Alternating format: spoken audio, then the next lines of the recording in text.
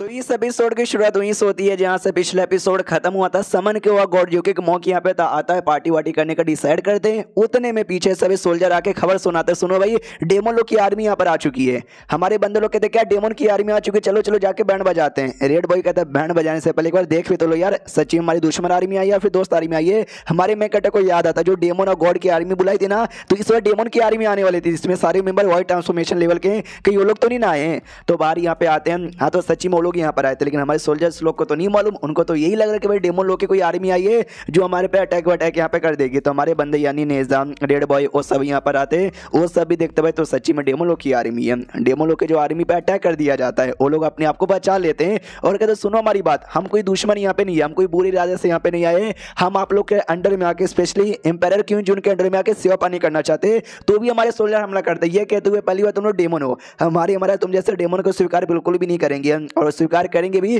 तो अच्छे लोग को तुम जैसे मुझे नल्ले लगते हो, हिम्मत तो मुझे रोक के दिखाओ। तो सामने सो भी कहता आपको रोक के दिखाएँगे कि हम किसी से कम नहीं है, और हमारे अंदर बहुत हिम्मत यहाँ पर है। तो वो भी अटैक करने को तैयार, हमारे सोल्जर भी अटैक करने को तैयार।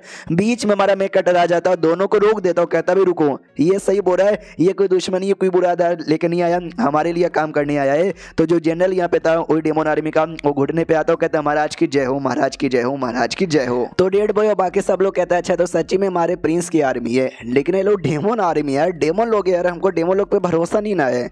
हमारे मैं कहते भी कहता नहीं भरोसा करो भाई लोग कभी धोखा नहीं देंगे। क्यों? मैंने ठीक बोला ना। वो लोग कहते यस आप जो बोलोगे ना वो करेंगे। आपने बोला जाकर उसकी जान ले लो, हम उसकी जान लेंगे। अगर आपने बोला अपनी जान दे दो, हम आपकी जान यहाँ पे दे देंगे। जो सुनते हमारे मैं कहते कहते हुई ना बात। जब सब लोग यहाँ पर आ चुके हैं, एक छोटा सा पार्टी यहाँ पे रखते हैं और दावत यहाँ पे मनाते हैं। जो सुन सुनते सब लोग कहते हैं, यस, आपने एग्जैक्टली यहाँ पे ठीक बोला।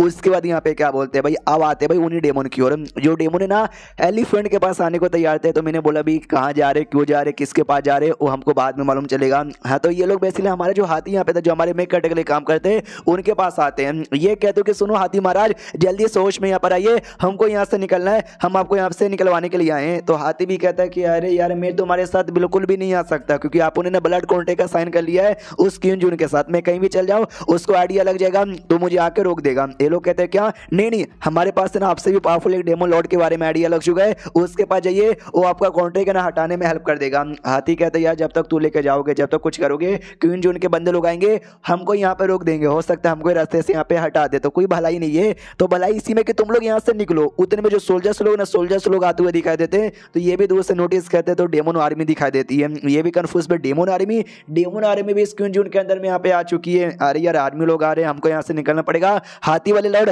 हम बहुत जल्दी वापस आ जाएँगे। हाँ तो लोग वहाँ से निकल जाते। हैं और ये अपनी जो आर्मी थी डेमोन आर्मी को बता रही थी कि भाई ये महल ऐसा, वो महल ऐसा है और ये घोड़ा आई मीन ये हाथी जो कि हमारे महाराज अपने घोड़े जैसे यूज़ करते हैं। अभी बीमार थोड़ा सा चल रहा है। हाथी भी लाइक तुम सबने बीमार यहाँ पे कर दिया तो और मैं क्या ही करूँ? अब आते हमारे में कटअप है जो कि आराम से अपना कल्टीवेशन कर रहा था। एक महीने का टाइम और गुजर चुका था। फिर से ऑप्शन आ जाता है कि भाई एक महीने का टाइम गुजर चुका है। हर महीने वाला जो ऑप्शन आता है ना गॉड समन करने का, वो आ चुका है। जल्दी से कर लीजिए। तो ये जैसे यहाँ पे गॉड समन करता ना, इस बार लिटरली कुछ गजब हो गया था। यानी हमेशा भी कुछ भी लिखा हुआ नहीं रहता था। इस बार सब कुछ लिखा हुआ है। हाँ सब कुछ यहाँ पे लिखा हुआ है कि लॉयल्टी एट्टी नाइन परसेंट है गोल्डन इमोटल पर है, और ये बेसिकली बहुत जल्दी अपियर होने वाली है। और उसके बारे में वो देखकर ये भी चौक जाते भाई, ये क्या हो गया? आई मीन सब कुछ यहाँ पे लिखा हुआ है। मुझे नहीं लगता, भैया डायरेक्ट मुझे मिलेगी, कुछ और भी करना है क्या? हाँ तो सच्ची में लिख कर आ जाता है कि, भैया, ये समझो टाइप की परी वाली गॉड है, जो कि आसमान से यहाँ पे आने वाली है, और ऐसा मतलब लैंड हो गया, और लैंड हो भी जाती है काफ़ी दूर। और सिस्टम में लिखा जाता है कि आपको मिशन है कि आपको पाँच दिन बाद उसके पास यहाँ पे जाना है, और जाने के बाद कोई तरीके से उसको पटा पुटा के अपने टीम के अंदर यहाँ पे ले लेना। अगर आपने ये पूरा कर दिया ना तो आपका जो लॉयल्टी जो अभी एट्टी है, वो बढ़ जाएगा। लेकिन अगर आपने ऐसा नहीं किया और आप मिशन में फेल हो गए लॉयल्टी यहाँ पे कम हो जाएगी और हो सकता है कि आपका समन होने के बदले मतलब आपके पेट बनने के बदले, वो आपके दुश्मन भी यहाँ पे बन जाए। अब आते हुए उसी एरिया में, जिस एरिया में वो गॉडेस आसमान से आती है और क्रिस्टल के अंदर बंद यहाँ पे थी और ढम से गिरती है। और जैसे गिरती है ना हाँ तो भाई आसपास के जो लोग थे, उनको आइडिया लग जाता है कि आसमान से कुछ गिरा है। उनको लगता है कोई ट्रेजर आइटम होगा, जो गिरा होगा हमको चाहिए, इसलिए चलो चलो चलो चलो। जैसे स्टोन के पास आते स्टोन के अंदर वो जो लड़की यहाँ पे थी, वो अपना खोलती है और पावर ऐसा रिलीज़ करती है, जिससे जो भी लोग पास में आ रहे थे ना, उनको झटका लगता है, चोट लगता है सबके सब यहाँ पे दूर चले जाते हैं। वो सब नोटिस करते हैं कि बिल्कुल ना। यार, ये जो भी लड़की है ना, बड़ी स्ट्रॉन्ग यहाँ पर इसके पास जाके टिक पाना लगभग नामुमकिन है। भागो यहाँ से। यहाँ से जितना दूर हो सको, उतना दूर यहाँ पे भागो।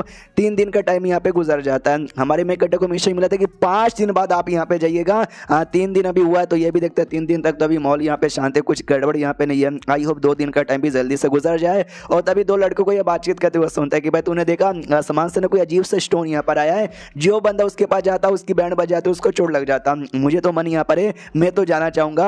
हमारा मैं कट्टा देखता कि भाई शायद ये लोग उसी के बारे में बात करें। इसलिए पास में जाता कहता हेलो भाई साहब, तीन दिन पहले आसमान से कोई स्टोन अपियर हुआ था, उसके बारे में बात करे हो क्या?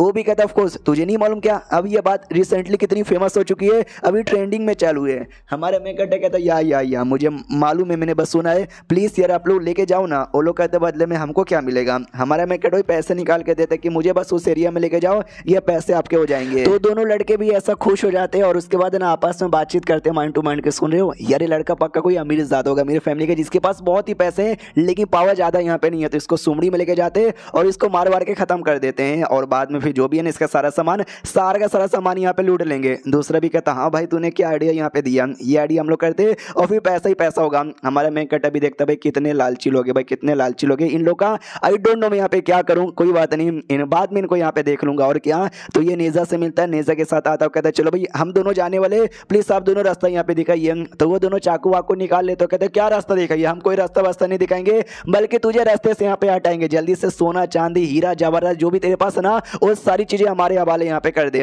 हमारा मैं कटर हुई अपना कामला यूज़ करता है और एक बंदे को जला देता है। वो बंदा भी चलाता मम्मी रे, अरे जला दिया मेरे को यार, वो मर जाता है। दूसरा बंदा घुटने पे आता है, गिड़गिड़ाता है कहता है, उसी का मीने का आइडिया था? ये मेरा आइडिया नहीं था प्लीज़ मुझे छोड़ दो, मुझे मत मारो, मम्मी।